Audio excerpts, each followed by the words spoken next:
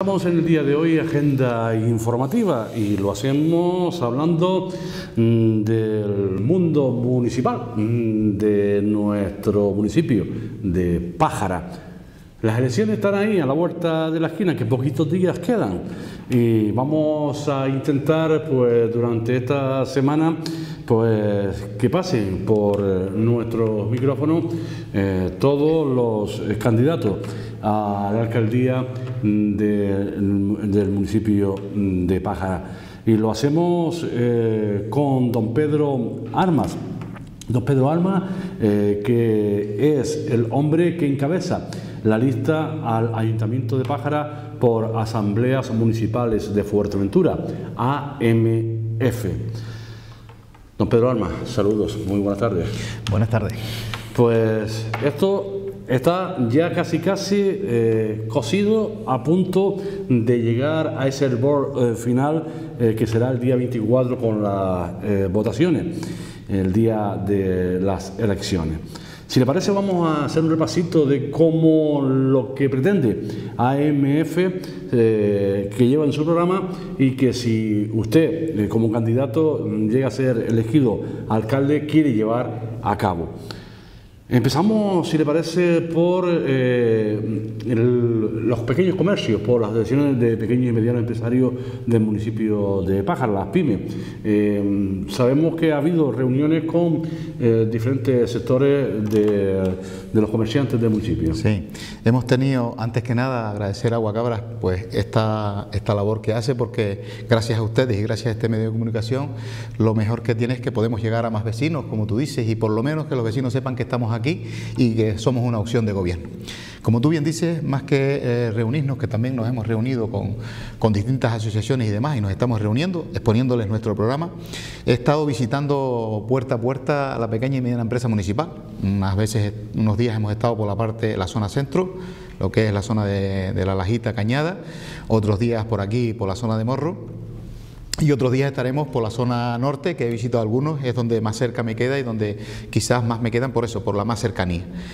Pero sí bien tengo que decir que mm, en algunos casos me he quedado sorprendido de la situación, sabía algo, ¿no? pero de la situación de alguna pequeña y mediana empresa, los trabajos que están pasando, sobre todo aquí en Morrojable, en la zona de, Cañada también, pero aquí con, los, con las que no han cerrado, están a punto de cerrar en las calles principales de, Morro, porque seguimos empeñados en, en hundirlo, pero sobre todo estoy viendo que ellos mismos me dicen mm, mm, que hay mucha competencia desleal. Aparte de todo lo que, de todo lo que, de todo lo que conlleva, lo que lleva encima de impuestos y demás, después está la competencia desleal, que en muchas, en muchas ocasiones el, el municipio o los gobernantes de este municipio, eh, llámese que están gobernando ahora Partido Socialista y Coalición Canaria, pues a lo mejor cualquiera llega y no sé si porque será amigo o lo ven mejor o es más guapo, monta, cualquier negocio y no pasa nada y a lo mejor el que está pagando todos los impuestos y todo lo demás los tienen todos los días encima pidiéndoles lo, lo que saben que tienen, como son licencias y demás.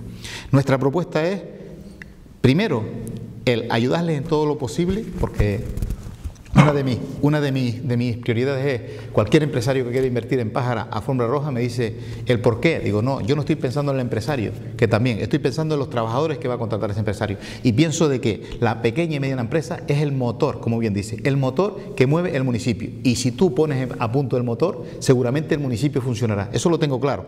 Por lo tanto, es ayudarles a lo que es la tramitación de documentación, que es otra, que en vez de, burocracia parece burocracia, que, que se, se eternice y cuando terminas un papel te piden otro y cuando terminas el otro te piden el siguiente. Y la otra es la gestión de ayuda si hace falta en, lo que, en la parte que el ayuntamiento pueda para que, para que arranquen los que tengan que arrancar y para que se mantengan los que están ya funcionando. Eso es la idea, es como ya tuvimos en la, cuando estuvimos gobernando, es poner a alguien en ese ayuntamiento que les ayude en lo que es la tramitación de, de toda la documentación y que cada uno en su, en su gremio, si está, por lo menos compartir que todos tengan que, aportar lo que tengan que aportar. No puede ser que unos paguen los impuestos y otros no solo no paguen los impuestos, sino que encima hacen competencia desleal al que está enfrente que sí que los está pagando. Hablamos de otra cuestión, eh, transporte público, eh, taxi, guaguas municipales o no guaguas municipales, eh, porque había, se dejaron de funcionar y parece que ustedes también en el programa hacen alusión a este tema. vamos a ver, todo viene unido. Por lo menos lo que es en la zona de, Morro, también en Cañada, pero por lo menos lo que es en la zona de Morro, lo que es el, todo el el movimiento industrial de la pequeña y mediana empresa viene porque tú traigas clientes. Si no, si no hay clientes, no, no funciona nada de lo, que, de lo que tengas en marcha. ¿Qué pasa? Había unas guaguas municipales, las cuales eh, se quitaron, no sabemos el por qué, se dejaron porque yo llevaba transporte y estaba preparado que se podía hacer una renovación por otros cinco años a esa empresa, pero no sabemos el por qué, eh, no sé qué circunstancia pasó, que incluso están ahí denunciados y demás al ayuntamiento, lo dejaron caducar y no se renovó. ¿Qué pasa? Sí, está el sector del taxi, pero tenemos el todo incluido. Y los taxistas lo saben, que esto no es una cosa que me he inventado yo, que bastante que lo hablé con ellos. Tenemos el todo incluido y los turistas no salen del hotel. ¿Qué conseguíamos con las guaguas? Que sacábamos los turistas del hotel. Y cuando sacan los turistas del hotel, come el restaurante, come el pequeño y mediano comercio, come el peluquero, come todo el gremio que está por fuera del hotel. Ahora, ¿qué pasa? Tenemos el todo incluido. Encima, en los hoteles, unos legales y otros a lo mejor alegales, pues tienen prácticamente de todo que han ido poniendo dentro de los hoteles. Peor todavía para todo lo que está alrededor. Porque si les cortas la salida, porque yo por un euro veinte, que es lo que costaba la guagua, pues salgo a dar una vuelta. ¿Y qué pasa? Como me gustó, pues me quedo y después cojo el taxi, o me voy antes y cojo el taxi. Pero si estoy dentro del hotel no voy a coger el taxi. Eso lo tenemos claro. Pero a la misma vez das vida a lo que es el comercio y demás. Todo eso se, acabó. Yo pongo un símil, como les he puesto a algunos, algunos comerciantes. Yo no sé si tú eres cazador o entiendes algo de caza, Antonio. No. Eh, bueno, habrás escuchado por lo menos cuando te lo diga. Los que son cazadores lo saben y los que no, creo que lo van a entender. Yo sí soy cazador, por eso te pongo este símil. Cuando vas a cazar, llevas el perro y llevas el hurón, sobre todo aquí en Canarias, porque eh, hay mucha eh, volcán y demás, y sin el hurón no hacías nada. ¿Qué es lo que nos está pasando? Eh? Es, mucho volcán el que hay en el municipio y en Pájara en general con los, con los turistas. Si tú, por muy buen perro de casa que tengas, que en este caso serían los taxis, para no poner a otros, ¿no? Lo que estamos hablando. Por muy buen perro de casa que tengas, si no tienes un que saques de la morada, a esos conejos no cogerás nada. los apuntarán y lo quieras, pero no cogerás nada. Sin embargo, si tienes el hurón, que eran las guaguas, que te sacaban a la gente de los hoteles, luego estaban por fuera y todos comíamos, pescábamos, cazábamos. Es un símil, eso es lo que nos está pasando y tenemos que, pensar que las guaguas no es competencia a los taxistas, es un complemento. Y con esa idea estamos trabajando nosotros para el futuro de Pájara, para los taxis, para todo el comercio, pequeño y mediana empresa, que es lo que están hundidos en la miseria porque los turistas los tenemos ahí, pero no vienen porque, claro, no tienen medio de transporte. Otro de los temas, eh, sector servicios. Complicado, difícil, pero que hay que meter mano. Viene a lo mismo. Cuando, cuando estamos hablando o hemos hablado, hoy tenemos que reducir porque el ayuntamiento no tiene dinero, eh, nos vino una crisis muy importante. Yo siempre he dicho que Pájara, si Alemania e Inglaterra están bien, por muy eso que esté, que esté España, Pájara está bien, porque el dinero nos viene, hoy por hoy tenemos el monocultivo que es el turismo. Si ellos también vienen aquí, van a seguir viniendo de vacaciones. Y según yo he escuchado, 90% de ocupación, o sea que muchísima ocupación en el municipio, de media. ¿eh? Entonces, ¿qué pasa? Que como dicen que no había, nos cargamos unos servicios que ya teníamos. Como puede ser, voy a mirarlo y enumerarlo para que no se me quede, ¿no? El deporte, que sabemos que teníamos, éramos la envidia de España, porque incluso conocimos, eh, llegamos a tener el Premio Nacional al Deporte. Teníamos unos servicios de limpieza y recogida de basura que por lo menos funcionaba y veías limpio y demás. Vemos cómo estamos, eso tenemos que reducirlo porque tal, y vemos cómo está funcionando. Teníamos unas guaguas municipales, lo que decíamos, que estaban funcionando, que movían la gente y que nos ayudaban. Teníamos los socorristas y bomberos, que éramos también de lo mejor que había en España, y no lo estoy diciendo yo, lo decían los que venían de fuera. Teníamos la voz de pájara que se llamaba Aguacabra. ¿Eh? que había una radio que quieras que no, se le ayudaba desde el ayuntamiento, pero daba información y nos enterábamos todos los vecinos de lo que pasaba en el municipio. A lo mejor lo que quiere es que no se enteren los vecinos de lo que pasa en el municipio. Y claro, tú dices, ya, pero que todo ese conglomerado, eso nos costaba un dineral, y, claro, ¿cómo el ayuntamiento va a mantener eso? Bien, todo esto que estoy nombrando, ¿eh? con el dinero que nos está costando lo que sigue funcionando, como es la basura y demás, y poneslo todo en marcha como estaba, nos puede costar unos 3 millones de euros. Y uno piensa, es un montón de dinero, 3 millones de euros, eso es un montón de dinero. Pero claro, cuando te digo que en el presupuesto de 2013 le sobraron 7 millones de euros que no gastaron, bueno, puede ser que los cogieron a traspié y no, y no lo gastaron. Pero en el 2014 le sobran casi 8 millones de euros sin gastar del presupuesto municipal. ¿Cómo le explicas tú a los vecinos que el, ayuntamiento no está para ganar dinero, está para dar servicio a los vecinos? ¿Cómo le explica a esta gente, Coalición Canaria y PSOE ahora, a los vecinos? Dice, me quiero venir otra vez a presentar, voy a dar la cara. ¿Qué, ¿Con qué cara vas tú diciendo que le has quitado todos los servicios, te has cargado todo lo que funcionaba en Pájara y te sobran más del doble de lo que te pudieran haber costado esos servicios? Tú no estás para ganar dinero, tú estás para gestionar. Y si lo tenías puesto en otro sitio y no lo has gastado es porque no has gestionado, no has hecho nada. Pero por lo menos deja funcionar los servicios que estaban funcionando. Y esa es nuestra idea, intentar de que Pájara vuelva a funcionar con lo mínimo que estaba funcionando. Después de tocar el sector servicio, vamos a también eh, ir pasando eh, por eh, los diferentes núcleos urbanos del municipio de Pájara. Empezamos por Pájara Casco y una de las propuestas que lleva su partido, Asambleas Municipales de Fuerteventura, a través de mm, su Hombre, eh, en que, que, cabeza la lista don Pedro Alma Romero, eh, pues mm, hay alguna propuesta en lo que se refiere eh, para que los niños y jóvenes tengan alguna actividad, que parece que ahora mismo en lo que es Pájara Casco, y que además usted conoce bien porque vive cerca, pues parece que es deficiente ahora mismo. Sí, bastante deficiente. Yo tengo que decir que sí, vivo cerca de, de Pájara, yo soy de Toto, quizás el pueblo más, pequeño, de los más pequeños de, del municipio, pero soy del vivo y nacido y, criado en el municipio de Pájara. No quiere decir que cualquiera que venga de fuera va a ser menos, de Pájara que yo. Por lo tanto, lo que sí es, sé es que esa parte pues la conozco un poco.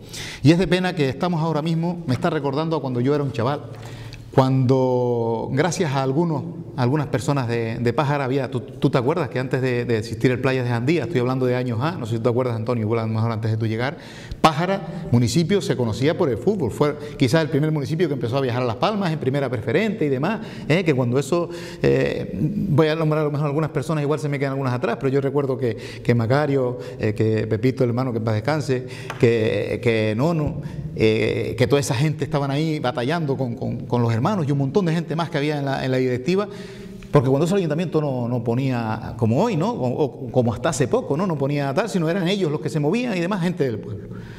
Bien, gente del pueblo que encima es nuestro lema, gente del pueblo.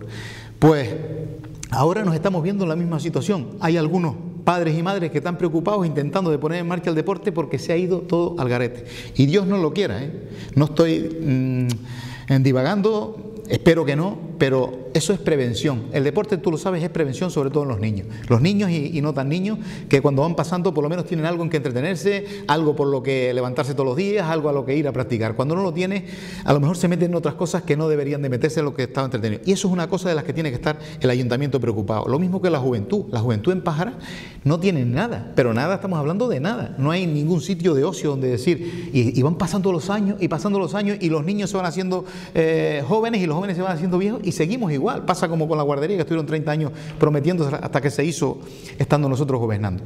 Pero quiero decir que nuestra propuesta es trabajar para que eso vuelva a funcionar, lo que es el deporte y las actividades para niños infantiles, y a la misma vez esas actividades para los jóvenes. Y buscar una zona o local, llámese pública o público-privada que se puede poner en marcha, de ocio juvenil, que, no, que la verdad que, es que no hay nada y es una pena. Seguimos avanzando y nos vamos a otro de los pueblos. Vamos a seguir en la zona eh, más cerca de Pájara. Podemos hablar de Bárgeda. Por aquí en el programa vemos eh, parque infantil, puesta en marcha y funcionamiento del parque infantil que englobe Bárgeda, lugar de, arriba y Malpaís. Bueno, el, programa municipal, si lo, si, lo, si lo, ven, lo tienen, se los hemos hecho llegar a, todas las casas y las que no, pues pueden entrar en internet y en la página mía de Pedro Almas o AMF en Pájara lo encuentran sin ningún problema, lo pueden mirar tal. Eh, en Bárgeda, por ejemplo, hemos puesto esto porque hay una lucha, fíjate tú, hay un, tema que hay todavía, a las alturas que estamos, hay casas que no tienen luz en el municipio. Esa. Hay una zona ahí donde no había potencia de luz, se amplió la potencia. Cuando hicimos, ese proyecto lo hizo Pedro, el compañero Pedro Pérez, cuando estaba en el 2003. Cuando, cuando retomamos el gobierno en el 2007, fue a llevarlo a cabo y resulta que no había alta, digamos, eh, para entendernos, corriente alta suficiente como para llegar con potencia. Entonces hubo que hacer una división de proyectos, ponerla alta hasta cierto punto para luego poner baja tensión. Bueno, pues nos dio tiempo y, dinero para poder poner eso y dejar el proyecto preparado. Estamos hablando que llevan cuatro años con dinero, ¿eh? no como en la época en la que estuvimos, que aquí vino Rajoy y puso nueve kilos encima de la mesa y tres millones que le entraron, son 12 millones que no han sabido, no han sabido repartirlo. Y proyecto aprobado desde hace, yo creo que un año, no sé, o más de un año en pleno. Todavía hoy no les han puesto eso. Yo no, me, yo no entiendo cómo es posible que todavía hoy estén esas casas sin, sin luz. Sí es verdad que nosotros Hablando de lo que te hablaba antes, de los niños y de, los jóvenes, es una zona alejada, alejada del pueblo y creo que en esa zona pues, pues debería de haber, debería de haber un, parque infantil o, o, pensamos donde los chiquillos tengan cerca de la casa donde, donde ir a jugar. ¿no? Pero si, si sigue, si me permites, lo, que a mí me gustaría nombrar del programa, Antonio, es los pueblos. ¿Sabes? Que tenemos desde Pájara, Morrojable, La Lajita, Costa Calma, Ajuy, Mesque Buen Paso, Bárgeda, Cardón, Fallagua, La Pared, Puertito de la Cruz, Toto, El Cortijo. Tenemos pueblo por pueblo, todos los pueblos lo que pensamos hacer. Cofete, también pensamos en él, pero sabemos la situación que tiene y lo que sí haremos de, Cofete, como estamos haciendo, es intentar de batallar para solucionar que quizás es de los pueblos más antiguos del municipio y están en las condiciones que están por la dejadez municipal que hay también, por no llevar a cabo o no hacerle un seguimiento quizás a las cosas de, a los problemas de los vecinos, sino cuando ya te viene encima el, problema. Eh, seguimos avanzando y eh, otra de las propuestas eh, que está interesado asambleas municipales de Fuerteventura es precisamente sobre los centros de salud, el funcionamiento de los centros de salud y más en concreto el de Costa Calma, ¿no? Hombre, llevamos toda la legislatura también batallando con, desde la oposición, presentando tanto nosotros como el resto de los, tanto AMF como el resto de los partidos políticos, pues eh, presentando eh, a la, a la, concejala del área que nosotros llevaslo a pleno, que, que, que lo pida donde haya que batallar, donde haya que batallar, para que ese centro de salud se abra tanto abrir ese las 24 horas, que es la, porque hay un montón de personas ahí, ya no solo los, residentes, sino todos los turistas que tenemos, tanto abrir eso las 24 horas como el de Morrojable, que, se, que vengan las especialidades que tengan que venir, que estamos a la distancia que estamos de, Puerto de Rosario, que todavía es otro hospital, que está también, eh, nos hace más falta oír música que que nos cure el médico, yo entiendo que oír música es muy importante, pero que cuando te hace falta tengas un, un sitio, un hospital donde ir en condiciones, pienso que es más. Y nosotros estamos trabajando o trabajaremos y batallaremos al igual que hicimos cuando estábamos en muchas cosas que no nos correspondían, como en transporte, se me ocurre batallar porque el barco, un barco más estuviera en la, en la punta de Jandía hasta, hasta, hasta Las Palmas, y se consiguió, que no es un tema del ayuntamiento, pero se batalló con quien hubo que batallar para que se consiguiera, y suma y sigue. Y nosotros vamos a trabajar lo que no está escrito para que se lleve a cabo y se abra las 24 horas el centro de salud de, Costa Calma, Caña del Río. Usted hablaba al principio, don Pedro Armas, precisamente mm, del turismo. Eh, el turismo es la, por suerte o, por desgracia, porque vivimos de ello y no hay es la industria, el motor de nuestra isla. Eh, la creación eh, eh, turística en la zona turística de, Morrojable, pero es que, de, perdón, del municipio de Pájara, porque hablamos de... De Morrojable, de, Cañada, de, sí. Andía, Cañada del Río. ¿Cómo está el tema en la creación de nuevas plazas o solucionar los problemas que hay en los antiguos? Porque vemos como la zona de la avenida del Saladar, famosa Casa Atlántica, el tema de la estera, el tenis center. ¿Qué tiene pensado su grupo de, si entra en el gobierno a, gobernar, qué tiene pensado para esa zona? Vamos a ver. Ahí eh, creo que está en, juicios y demás, en, concursos de acreedores y toda esa historia. Nosotros el ayuntamiento haremos lo que, lo que debamos de hacer, es batallar para que eso se ponga en marcha. Bien, si se puede legalizar lo que se, pueda legalizar y lo que no, pues que se reestructure como tenga que reestructurarse. Pero eso tendrá que hacerse con inversión privada. Nosotros desde el ayuntamiento lo que haremos es fomentar para que venga algún inversor, que eh, material tenemos, porque tenemos playa, clima y todo lo demás, como cuando se fue haciendo eso, para que se ponga en marcha y funcione. Pero hablando de lo del empleo, que es una de las prioridades que nosotros llevamos, dices tú, un ayuntamiento, empleo, sí, Un ayuntamiento puede generar empleo o no. La inmovilidad no genera nada. El moverte puede generar empleo. Por ejemplo, yo no, yo no, no, concibo, ni yo ni la gente de, mi grupo que me acompaña, no concebimos cómo es posible que, como se dice, con hemos estado con un 90% de ocupación y resulta que tenemos menos gente trabajando en los hoteles que la que teníamos hace pues eh, unos años. Un camarero hace 10 años ganaba más en propina que lo que gana hoy de sueldo. Y los camareros que me están escuchando lo saben. ¿Y qué pasa? Eso no era beneficio para el camarero, no, no, no. Eso era beneficio para el camarero, que a su vez contrataba, iba y compraba muebles para su casa porque se lo podía permitir, ¿eh? iba a cenar al restaurante porque se lo podía permitir, iba, salía de copas con los amigos porque se lo podía permitir, cogía y se iba de viaje, de vacaciones, para acá o para allá porque se lo podía permitir. Todo eso que, te estoy diciendo que está haciendo, generando empleo a la vez moviendo el dinero. ¿Qué pasa? Ahora están, que en vez de ser camareros lo que son es lleva platos y trae platos en un carro, amontonado. Damos un, servicio pésimo a esos turistas que nos están viniendo, que son los que nos están dando de comer. Nos guste o no, es nuestra empresa y hay que cuidarla. Cuando tienes una empresa tienes que cuidarla. Estamos mm, donde tienen que haber 10 personas trabajando, hay 5, si no es que hay 3. Reventados. Las camareras de piso ya no te digo, porque eso, donde hacían a lo mejor 15 apartamentos o 15, ahora están haciendo igual 30 o 30 y pico.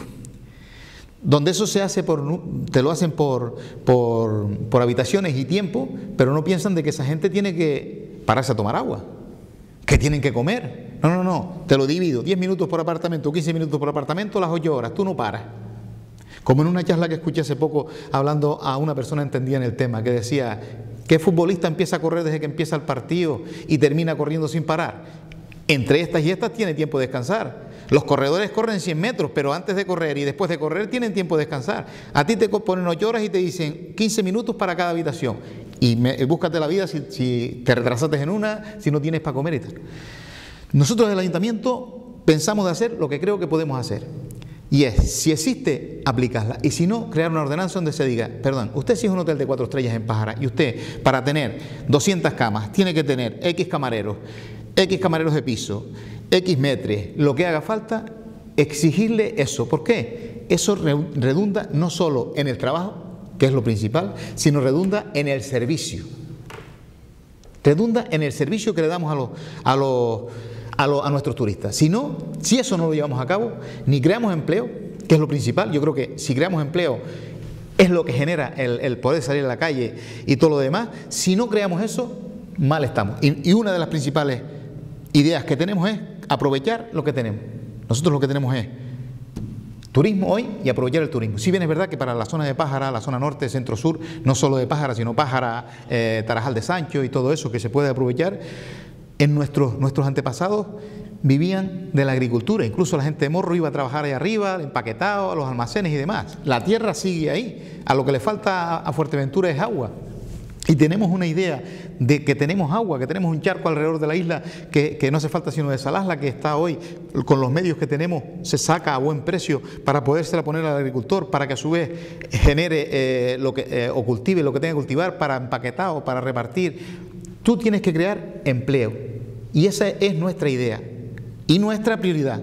Crear empleo para que nuestros vecinos funcionen y no estén esperando a que cuando vayan llegando las elecciones venga el político de turno, saque un plan de empleo, les dé seis meses de trabajo para que me deje el voto. No. Si después, cuando yo llegan a los cuatro años, el, el, vecino quiere reconocer el trabajo que ha hecho el político porque ha sido capaz de buscar inversión privada desde fuera, donde sea o inversión público-privada para crear empresas, ayudar a las empresas y que a su vez generen puestos de trabajo para, los, vecinos? Bien, ¿que creen que otro lo puede hacer mejor? Seguramente luego es cuando van, a lo mejor, como, como me ha pasado en otras ocasiones, van a valorarte.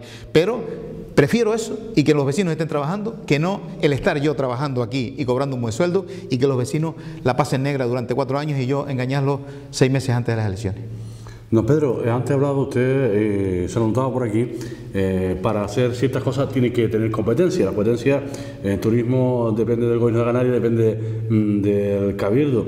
Las inspecciones del gobierno de Canarias eh, tiene que hacer fuerza desde dentro del ayuntamiento para que esas competencias sean cedidas a cabildo por lo menos y si es posible hasta el ayuntamiento para que pueda efectuar esas inspecciones dentro mm, de los establecimientos hoteleros y puedan tener en cuenta lo que se está trabajando y cómo se está atendiendo a, ese turista. Que si vendemos, nos gastamos una millonada en promoción turística, eh, eh, vendiendo nuestras excelencias, pero luego mm, damos un servicio eh, que da pena. ¿no? Pésimo. Bien, competencia. Casualidades. Hoy mismo teníamos un pleno. Y hablando el alcalde ahora, que faltan cuatro días para las elecciones, hablaba, es que tenemos que poner en marcha un servicio de inspección y Vamos a ver, yo se lo dije, digo, tenemos cuarenta y pico inspectores. En Pájara tenemos cuarenta y pico inspectores.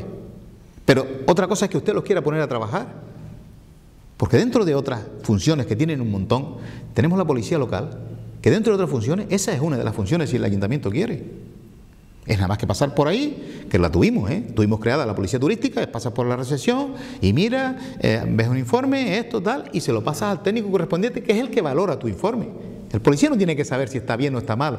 El policía, mira, hace un informe y dice, yo vi aquí cuatro hamacas, vi un socorrista o no lo vi, vi un recesionista o no lo vi. Nada más, hace el informe y eso se pasa al técnico correspondiente, que es el que a su vez valorará.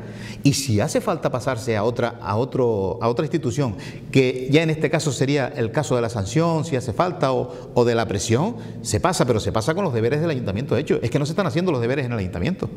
Es a donde yo voy. Competencias del ayuntamiento tienen todo. Otra cosa es resolución. Y, y yo cuando tengo una competencia si yo, lo que, estamos, lo que estábamos hablando, eh, un vecino, si tiene algún problema con el ayuntamiento, ¿a quién va a ver? Va a ver al concejal del área, si lo conoce, lo sabe, y si no, al alcalde, que es lo primero que hacemos. Cualquier vecino, normal.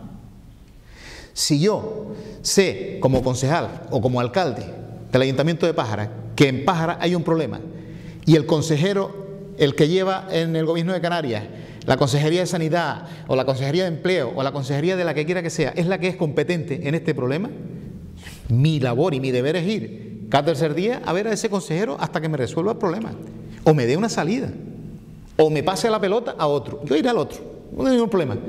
Pero seguramente que estaré batallando, batallando hasta que ese problema se resuelva, como hacen algunos vecinos. La constancia es lo principal en cualquier institución. Y creo, pienso sinceramente, que un ayuntamiento, un alcalde, a lo mejor me estoy pasando, pero debe de ser para los vecinos como un padre. Y hay padres buenos y a lo mejor padres no tan buenos. No quiero decir que, se, que tú sabes que al, hijo se le da todo lo que, porque es mi hijo y le voy a dar todo lo que le haga falta y un poco más. Mm, pero con condiciones. Porque sabemos que ese hijo se cría mal criado. Y eso lo sabemos los que tenemos hijos, y yo tengo dos, hijas excelentes, no puedo decir otra cosa, pero sabemos que vemos compañeros que a lo mejor mientras más tienen, peor les salen los críos, porque como han tenido de todo, no saben, no saben valorarlo. Quiero decir que cuando un vecino tenga un problema de verdad y vaya al ayuntamiento con un problema de verdad, seamos capaces de resolvérselo. Y de que no salga del ayuntamiento con 10 problemas en lugar de con uno. Porque ya te empiezan que sí, pero es que me resulta aquello, es que no, no, perdone usted. Yo he tomado nota de su problema y voy a intentar solucionárselo.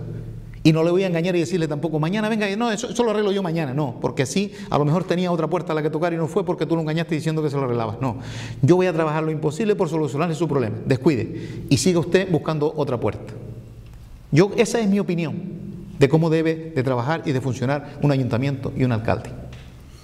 Don Pedro, otra de las cuestiones, es decir, que aunque yo me centre, eh, mira, usted habla, estoy leyendo también eh, lo que lleva en el programa eh, de la Asamblea, Asamblea Municipal de Fuerteventura, AMF, y veo en el portito de la Cruz que tienen pensado precisamente la creación de, de un camping legalizado.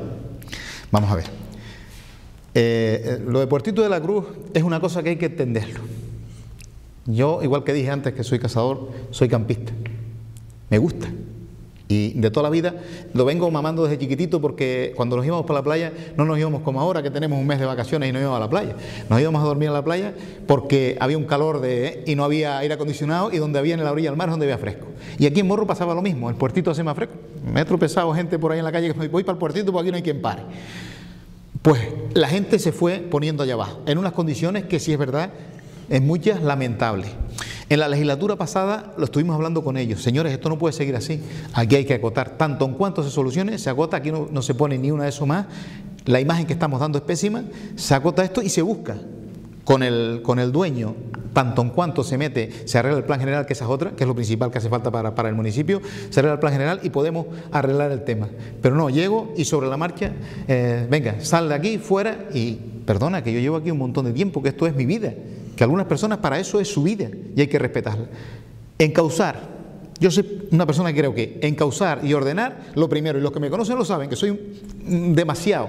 Hay que encauzar, hay que ordenar, tenemos que ir todos por este camino. Ahora, de prohibir, prohibir, prohibir, eso no lo verán en mí. Y una de las cosas de salida que le damos a esa es la creación de un camping, donde tú si quieres te doy una alternativa. No te digo, Antonio, olvídate de, si tienes una caravana o tienes un autocaravana, no, olvídate.